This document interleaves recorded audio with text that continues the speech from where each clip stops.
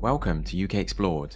In this video, you're going to see one of the most rundown, deprived, and shocking areas we filmed today on this channel. The town in question is called Lye, which is in the borough of Dudley in the West Midlands. First of all, I want to give a quick shout out to a couple of viewers for recommending we visit Lye. First of all, Alex, who described it as an area of black country decay, and Lee, who also chipped in and said that it's seriously scary there, and they're not wrong. Here is a look at the main high street in Lye, which is the source of most of the problems, and is literally the most run-down small town shopping district I've ever seen.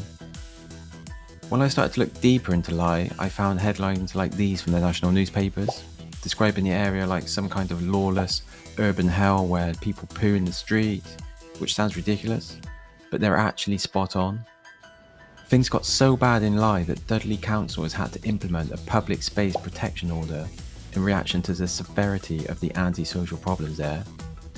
Here are the signs that are all around the high street. Anyone caught drinking, taking drugs, being antisocial, urinating, or even defecating on the street could be hit with a £1,000 fine. Do we really live in a time where a council has to put an order like this in place to stop people taking a on the street?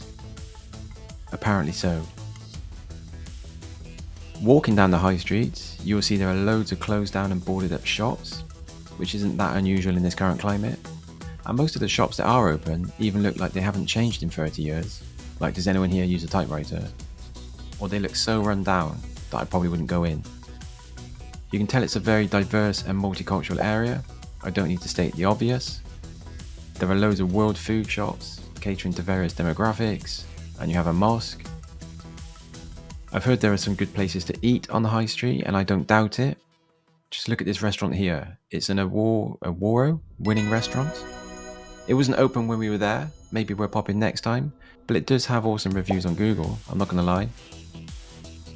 There is also a serious litter and fly tipping problem in Lye, which doesn't really come as a surprise. These clips just don't do justice to how much junk and litter we saw everywhere. We had to literally avoid stepping on broken glass, and I don't know what else we saw on the floor. I think someone misread this anti-fly tipping sign. They must have thought it said to fly tip right next to the sign.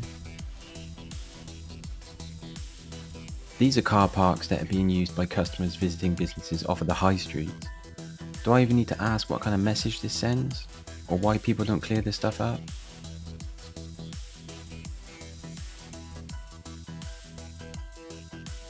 These fridge freezer units have been dumped here for so long that they've literally become part of the scenery.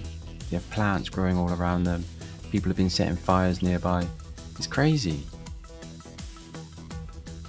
It feels and looks like the council has given up on Lye. For things to be this bad and in this state for this long, something's gone very wrong.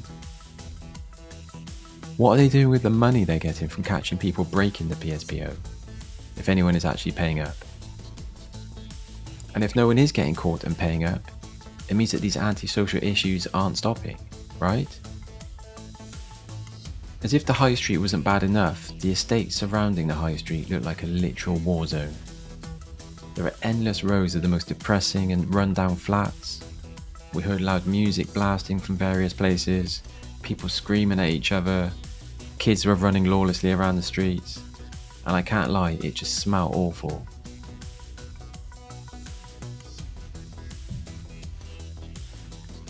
Obviously the barbed wire and high fencing doesn't exactly make the area feel welcoming, but it's there to serve a purpose because the crime rate is high in and around Lye High Street.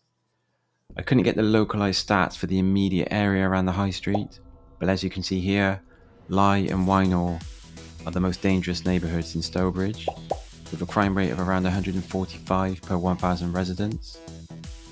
The kinds of headlines that frequently pop up in the local news is stuff like residents being arrested for violent incidents, general assaults, and using deadly weapons. I read several cases of vulnerable people being exploited and trafficked. There are loads of drug busts, with some huge hauls that were clearly intended for mass distribution. And I could go on and on. But it's not just the crime that's going to put people off wanting to visit or move into the area, it's the general decay across the whole of Lye and the lack of opportunities and hope for the future. I've seen plenty of areas going downhill across the UK over the years, and the alarming thing is that I have never seen an area turn things around. Looking at these living conditions right here, I mean this is years of neglect from the residents and, and the council.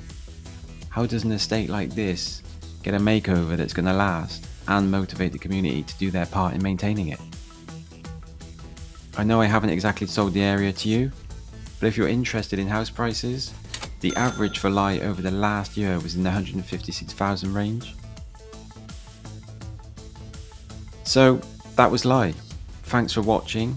We really appreciate it, and we, you know, we enjoyed our day out there. It was quite an eye opener. As you can see, we do visit areas recommended by you, the viewers. So do drop a comment recommending any areas you think we should visit next. In the meantime, please take a moment to press the like button and subscribe to the channel if you haven't already. It helps us to reach more people on YouTube, and in turn that motivates us to get out there and film more. So cheers.